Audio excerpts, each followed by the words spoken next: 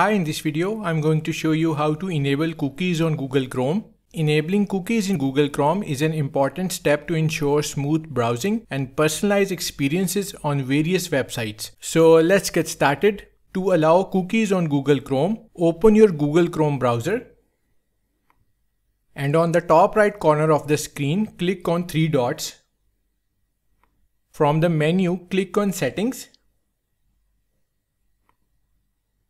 On the left panel, click on Privacy and Security tab. Now scroll down and click on Cookies and other site data. So click on it. In general settings, make sure allow all cookies option is checked.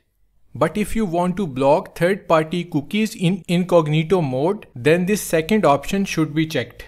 Normally this is the default option if you want to allow cookies if you want to customize your cookie settings further, then you can add sites to the list that can always or never allowed to use cookies.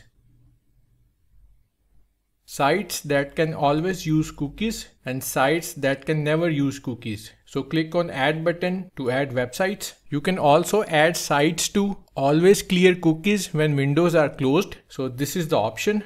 So that's it. You have successfully enabled cookies on Google Chrome. Thanks for watching and don't forget to hit the like button and do subscribe to my channel for more helpful guides.